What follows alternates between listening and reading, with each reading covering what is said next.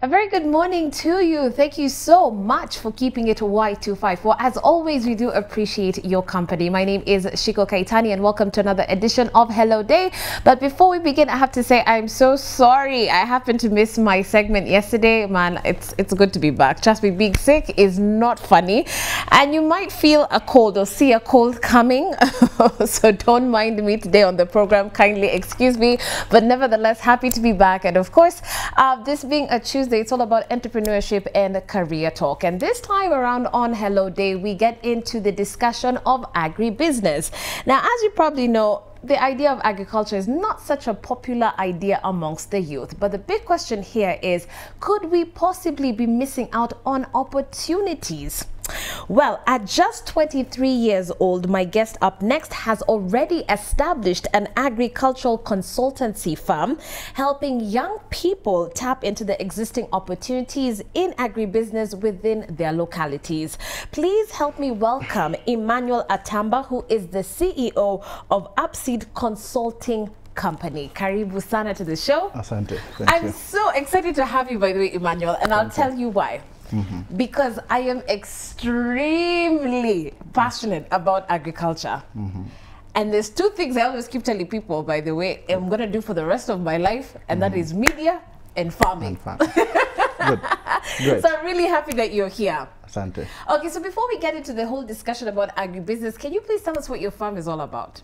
Um, UPSID, UPSID is a agricultural production systems and institutions development uh, consulting firm. Um, uh, I'll give you a little background of that. Um, uh, when we were in campus, uh, we saw that we had a lot of capacity to support farmers. Yeah. Uh, with the coming in of, of devolution, uh, uh, a lot of extension services that were being offered by the government have Yeah. been seen to, to dwindle a little bit.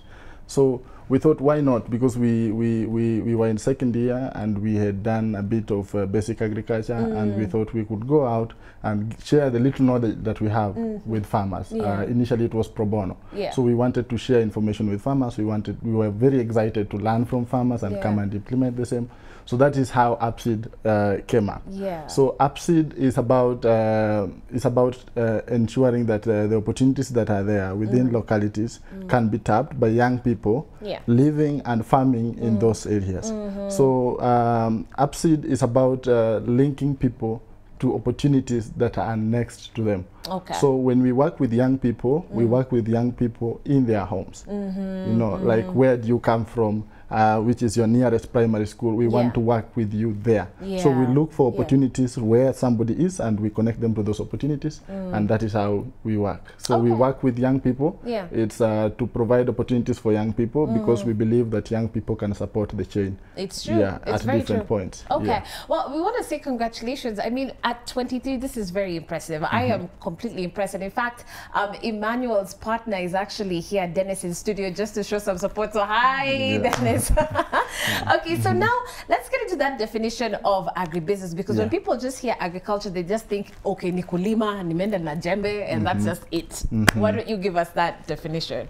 Um, agribusiness, uh, there's the agribusiness that should be and the agribusiness that people know. But uh, the agribusiness that most people know is uh, going into commercial agriculture, Mm-hmm. uh, you know, uh, dealing with enterprises that are more likely to generate uh, a lot more income or more lucrative enterprises. Mm. Yeah.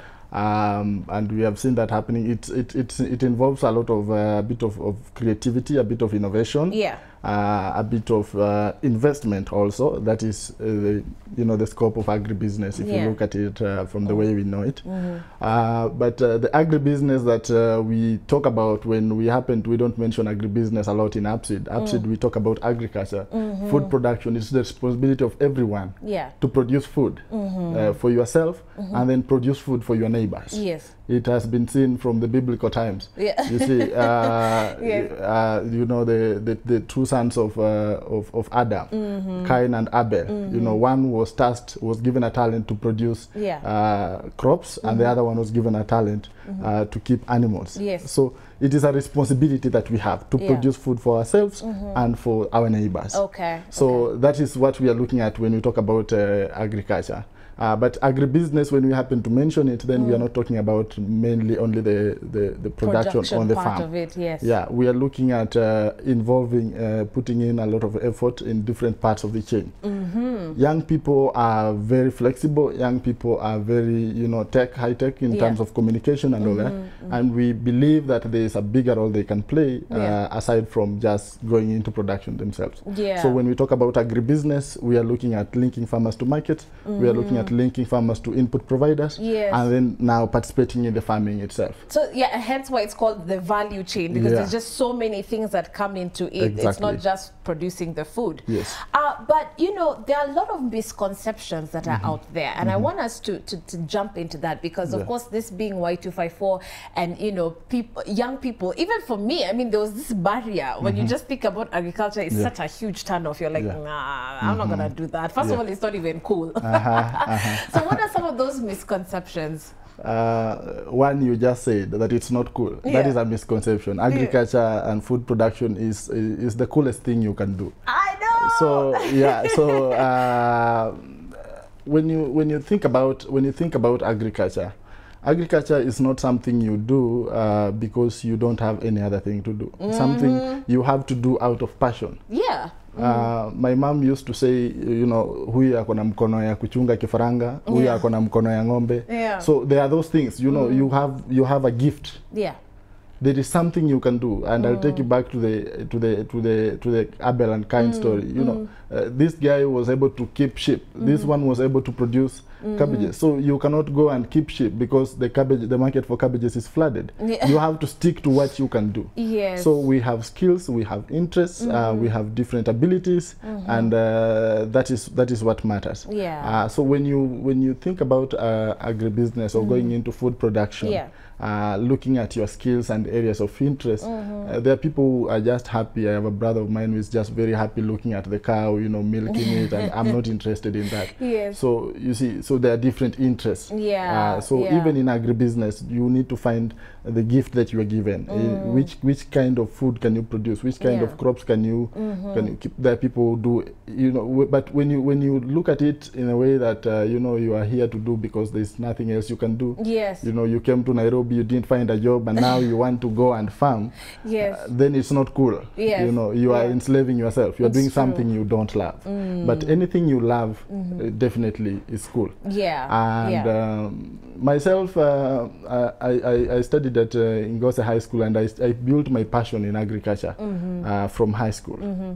I used to work at the at the pig unit Yeah. in high school. so I would Yeah. wake up in the morning, uh, go for preps like everyone else. Yes. But when people go in the morning for breakfast, Yes. I go first to the kitchen. Yeah. I take a wheelbarrow full of you know the kitchen waste. Waste, yeah. I go and feed the pigs, Uh-huh. then come back to the kitchen, take my breakfast, Yes. and I used to do that uh, Every for, you know every day. It was my routine.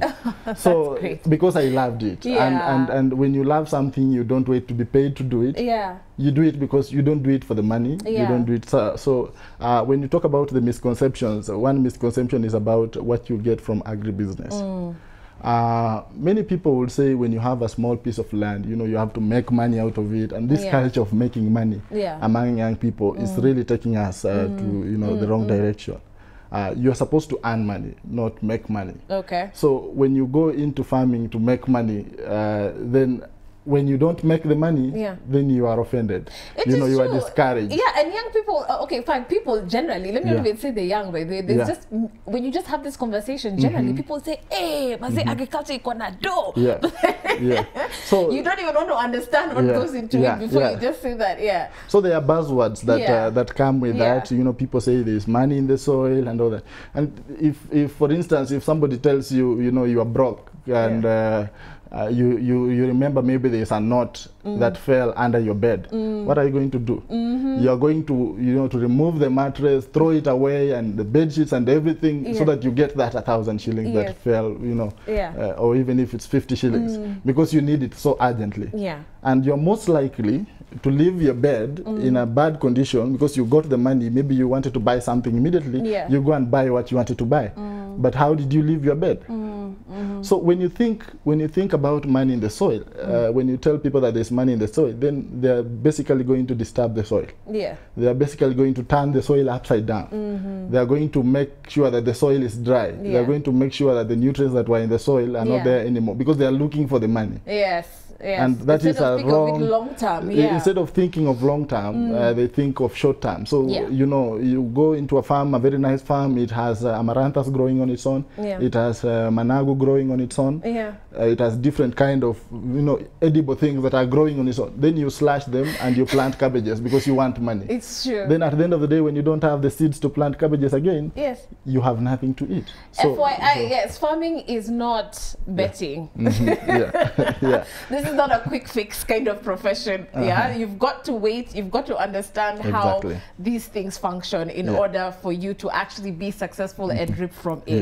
Yeah. Yes, I trust me. I've learned the hard way as well. Yeah. Because I used to be one of those people who used to think, ah, baby, in one month, two months, I'll probably make this money.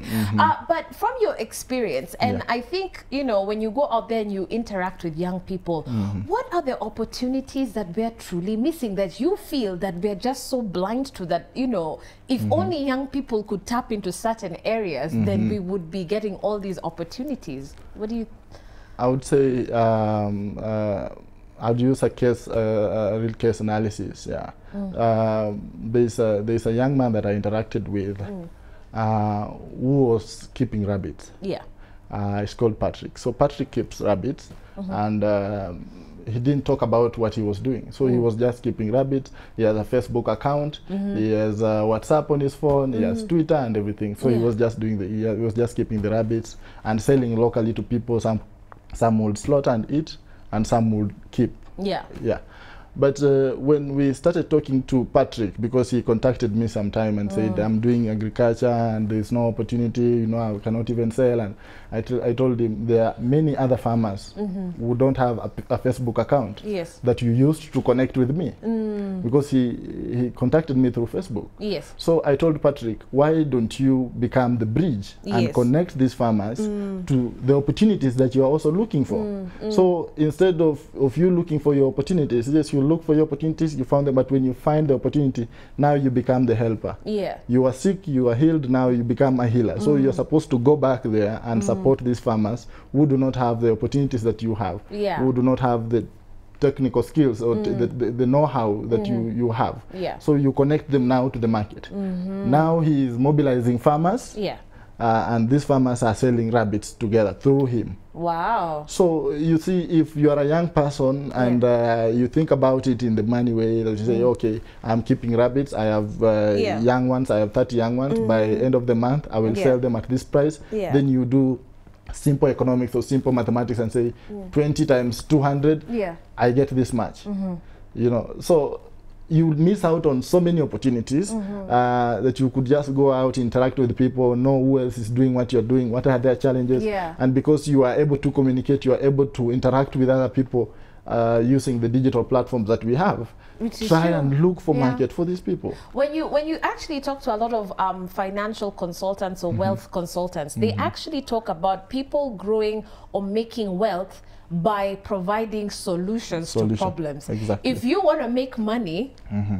find a problem Yeah. and then get the solution the to solution that to and you'll be surprised how you will even be making money off of that yeah. so for patrick this has also become another earning another revenue for him to earn exactly exactly Right. so so he is now is now the the linkage between the farmers and market Mm-hmm. Okay, uh, when you talk about uh, when you talk about uh, the pellets for the rabbits and everything Yeah. Mm-hmm. he now uh, buys in bulk and distributes to these wow farmers that's fantastic because now Yeah. Mm. you see you you can you can benefit always because if you are in a rural area somewhere and you can uh, buy fertilizer probably at 500 shillings more yeah. than it is sold in town Yeah. then it's an opportunity for you to move around and Mm-hmm. mobilize farmers in your area and tell them look uh, this is how much we are buying fertilizer at Right. and this is how much fertilizer is sold Yeah. in this nearby town Yeah. Mm-hmm. why can't we put our efforts together and you are able to you know you have some education and you're able to mobilize these people you're able to connect Yeah. and you source the inputs distribute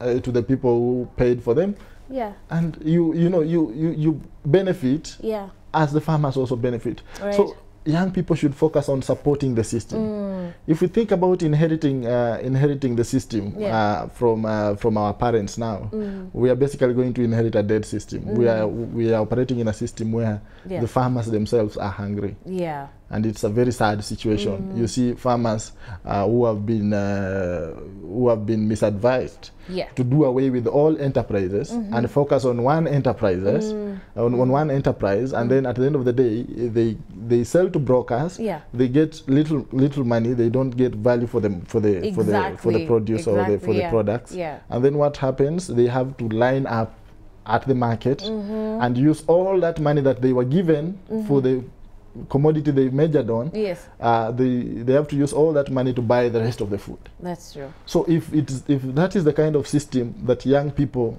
are being told to go back to the rural areas Yeah. to inherit, then we need to do some painting. We need to do some you know some uh, modification Yes. and improve the system before we inherit it. It's true. yeah.